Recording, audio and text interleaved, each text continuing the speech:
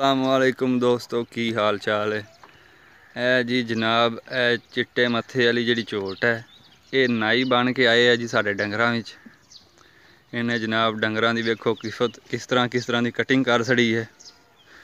ਇਹ ਕੱਟੀ ਵੇਖੋ ਜੀ, ਇਹਦੇ ਜਿਸਮ ਤੇ ਕੋਈ ਥੋੜੇ ਜਿਹੇ ਬਾਲ ਬਾਕੀ ਰਹਿ ਗਏ ਨੇ। ਇਹ ਮੇਰੇ ਖਿਆਲ ਵਿੱਚ ਅੱਜ ਰਾਤ ਹੀ ਲਾਈ ਸੀ। ਸੁਲੇਮਾਨ ਅੱਜ ਹੀ ਲਾਈ ਸੀ? ਯਾ ਕੱਲ ਠੀਕ ਆਣੇ ਦੇ ਬਾਲ ਕੱਲ ਤਾਂ ਠੀਕ ਆ। ਵੇਖ ਹੀ ਨੇ ਕਿੰਨੀ ਸਾਰੇ ਨਾ ਟਿੰਡ ਕਾਰ ਛੱਡੀ ਏ। ਕਟਿੰਗ ਕਰਦਾ ਜੀ ਇਹ ਨਾਈ ਮਾਲਾਂ ਦੀ। ਕਟਿੰਗ ਵਾਸਤੇ ਰੱਖੇ ਆ ਨਾਈ ਚੈੱਕ ਕਰੇ ਨਾ ਕੋਈ ਵਾਲ ਚੱਲ ਰਿਹਾ ਤੇ ਨਹੀਂ। ਹਾਏ ਹਾਏ ਹਾਏ ਬਹੁਤ ਚਸ ਪਈ ਹਨ ਸਹੀ ਕੁਝ ਨਹੀਂ ਰਹਿ ਗਿਆ ਹਨਾ? ਦੂਜੀ ਪਾਸੇ ਵੀ ਦੂਜੇ ਪਾਸੇ ਕੋਈ ਨਹੀਂ ਸ਼ੈ। ਓਏ ਹੋਏ। ਰਾਤੋਂ ਰਾਤ ਸਫ਼ਾਈ ਚੰਗੀ ਕੀਤੀ ਉਹਦੇ ਇਹ ਤੇ ਇੰਜ ਨਹੀਂ ਹੋਇਆ ਖਲਾ ਜਿਵੇਂ ਮੰਡੀ ਤੇ ਖੜੀ ਨੇ ਮਾਲ ਤੇਲ ਛੇਲ ਲਾ ਕੇ ਤੇ ਵਾਲ ਛਾਲ ਮੁੰਨ ਕੇ ਹੈ?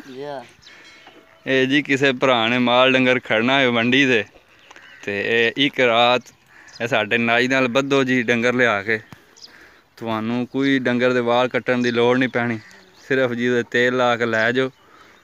ਤੇ ਬੜੀਆਂ ਚਮਕਾਂ ਮਾਰੇ ਦਾ ਡੰਗਰ ਜੀ ਵਪਾਰੀ ਫਿਰ ਫਿਰ ਕੇ ਆਵਣ ਦੇ ਏਡੀ ਸਫ਼ਾਈ ਕਰ ਰਿਹਾ। ਇਹ ਸਲਮਾਨ ਤੇਰੇ ਵਾਲੀ ਕੱਟੀ ਦੇ ਵੀ ਇਹਨੇ ਲਾ ਛੜੇ ਨਹੀਂ ਓਏ ਹੋਏ ਹੋਏ। ਇਹਨੂੰ ਇਥੋਂ ਖੋਲ ਲੈ ਤੇ ਇਹਦੀ ਵੀ ਟਿੰਡ ਹੋ ਜਾਣੀ ਆ। ਵੇਖਿਆ ਵੀ ਤੇ ਇਹ ਹੁਣ ਕਿ ਦੂਜਾ ਪੱਲਾ ਵੀ।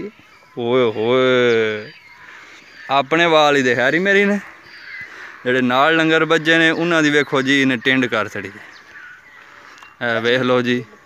ਇੱਕ ਇਹ ਕੱਟੀ ਵੱਜੀ ਏ ਇਹਦੀ ਤੇ ਉੱਕਾ ਹੀ ਜੀ ਪਲੇਨ ਬਣਾ ਛੜੀ ਸੁੱਥਾਂ। ਵੇਖ ਲਓ ਜੀ।